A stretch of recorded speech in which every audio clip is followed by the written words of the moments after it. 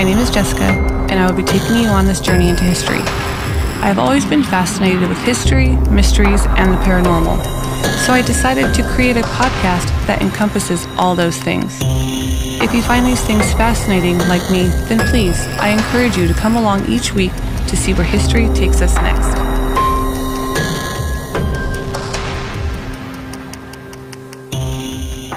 Hey, this is Jessica from Ancient Secrets and Haunted Journeys.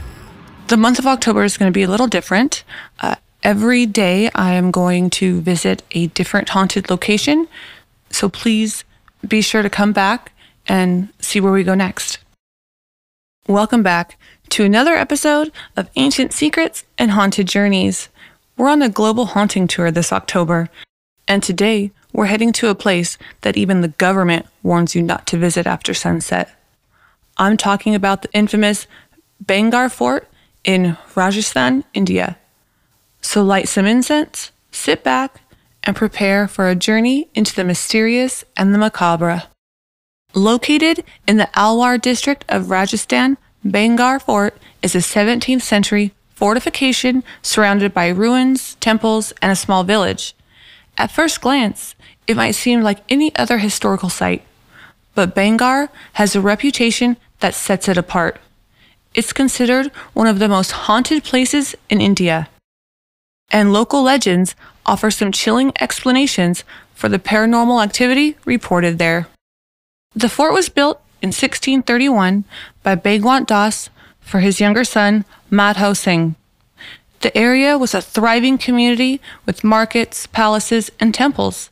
However, it's said that the fort and its surroundings fell into ruin due to a curse. There are two popular legends explaining this curse. The first involves a holy man, or sadhu, named Baba Balanath, who agreed to the fort's construction on the condition that it never cast a shadow over his dwelling. However, as the fort expanded, this condition was broken, invoking his wrath and cursing the area. The second legend is more romantic but equally tragic. It involves a beautiful princess named Ratnavati and a sorcerer who fell in love with her. When she rejected him, he tried to use a love potion on her, but she discovered his plan and thwarted it, causing a boulder to crush him.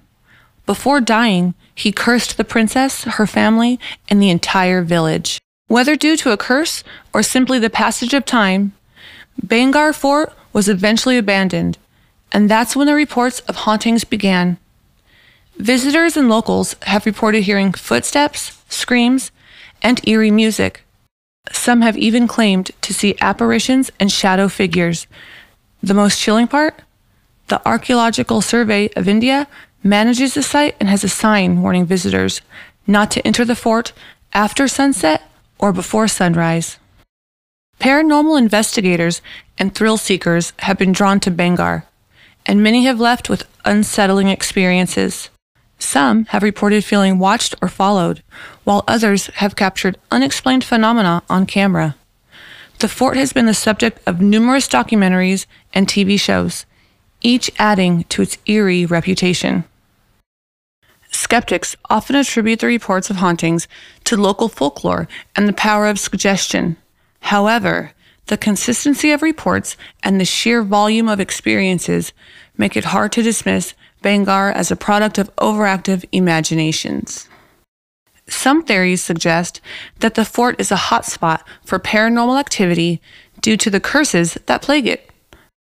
Others believe that the intense suffering and death that may have occurred here have left a residual energy that manifests as hauntings. Whether you're a believer or a skeptic, the story of Bhangarh Fort serves as a chilling reminder that some places carry a weight of history and mystery that can't easily be explained.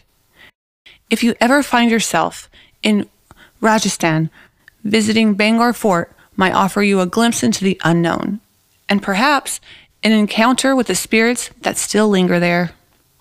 That's all for today's episode.